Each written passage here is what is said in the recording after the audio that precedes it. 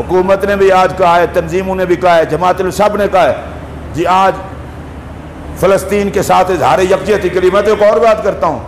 मैं अपनी हुकूमत को कह रहा हूँ, मैं वो जिहादी नहीं हूँ, जो अपने तौर पर ऐलान करते फिर जिहाद का फन्ने खां। जिहाद होता ही हुआ है जो हुकूमत ऐलान करे। हाँ जिहादी तंजीमें फिर बाद में गोल क्या खिलाती हैं, वो आपको पता ही है। मैं हुकूमत को कहता हूँ, इमरान खान साहब रियासत मदीना की बात तो आप करते हैं। ऐलान करके देखें जिहाद का। फिर देखें मदीने वाले के गुलाम किस तरह सरूब कफन मान गया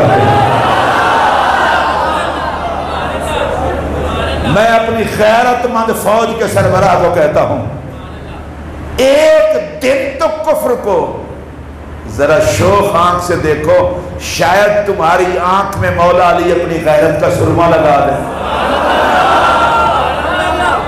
मुफक्र पाकिस्तान अल्लामा इकबाल पहले कर गए थे, कह गए थे ने कहा, खीरा न कर सका मुझे, जलवाए दानिशो फरंग, सुरमा है मेरी आँख का खाके मदीना और नजफ। इकबाल कहता है, मदीना पाक और नजफ अशरफ की मट्टी का बंदा सुरमा लगा ले, फिर काफरों के आगे आँखें झुकती नहीं, फिर आँखें डाल के बात करने का बंदा आदि हो जाता बेगैरती की ज़िंदगी मुसलमान की नहीं हो सकती। मोमिन जीता भी गैरत से है, मरता भी। हमारी हुकूमत ने सफारती सतह पर जितना हो सकता था बहुत किया है। ऐसे झूठ नहीं बोलना चाहिए। आप देख लें कौमी, वहाँ अकवा मुतहदा में भी, जो शाह महमूद ने गुफ्तु की है, फ़लस्तनी वज़ीर खारजा ने भी सराहा है।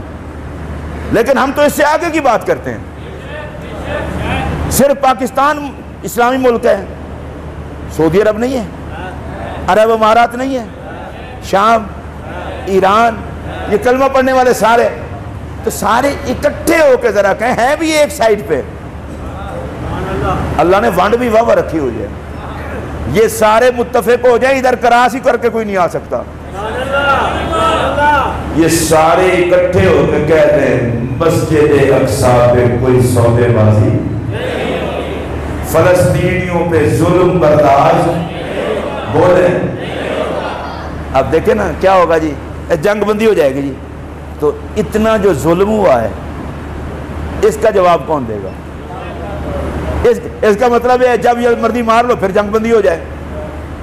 मैं चूँकि ना मैं जर्नैल हूँ ना मेरी कोई जिहादी तंजीम है मुसलमान मौलवी होने के हवाले से कुरान और सुन्नत का मसला ये बता रहा हूँ।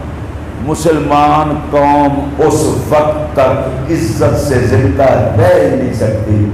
जब तक कि इसके हाथ में जिहाद का झंडा न हो। अब ये हमारे यहाँ तकरीर कर दी जाती है। नहीं जी, नहीं, देखे ना जी, बस बंदा अपनी इसलाह करे, खुश अखलाकी करे। ओ भाई, इसलाह भी करे, जिहाद किस नबी की सुन्नत है? जो अपने नबी को मुजाहिद मानते हैं, सिर्फ़ वो बोले। खड़ा करके बोले ना। उधर जंग हो रही हो। इधर आयत करीमा का विरद करते हैं। जी इस विरद पे तो रहमत नहीं बरसती। उधर जंग हो इधर विरद हो। वाह सूफी। और पता है मेरे नबी ने क्या फरमाया? फरमाया जब जंग हो रही हो अगली सफ में कोई मुजाहिद शहीद हो जाए जगह खाली हो पिछली सफ वाला सिर्फ़ वहाँ कदम रखे। अभी शहीद नहीं होता। जगह को पुर करने की बरकत से अल्लाह उसे जन्नती कर देता। दरूद शरीफ खूबसूरत चीज़ है। तस्वीर खूबसूरत चीज़ है। पर ये औराद वज़ायफ और नवाफिल पर गुजारा करने वाले ये समझ लें। अगर ये नवाफिल ही सब कुछ होती तो मैदान बद्र में जाने वाले मुस्तफ़ा के दो रकतों जितना कुल कायनात की इबादत नहीं हो सकती। मेरे आका बदर में गए ना, और सिर्फ़ गए सिर्फ़ गए नहीं, पहले जब मशवरा किया तो साहब कराम ने दो बातें की थी, वो सुन लें। पहली, या रसुल्ला आप अगर गए ना, हम समंदर में छलांग लगा दें। फिर एक और साहबी बोले, या रसुल्ला आप हमें ले तो चले। इस तरह लड़ेंगे आपकी आँखें ठंडी हो जाएँगी। किसी साहबी ने ये नहीं कहा, हजूर, हमारे पास तो लिबास पहनने को पूरा नहीं है। किसी ने ये नहीं कहा, हजूर, नेजे थोड़े हैं, तीर थोड़े हैं, तलवारें थोड़ी हैं थवारियाँ हैं ही कोई नहीं, सामने इतना बड़ी पावर है। ने कहा, यार हमें इससे कोई बात नहीं, आपकी आँखें डंडी कर देंगे।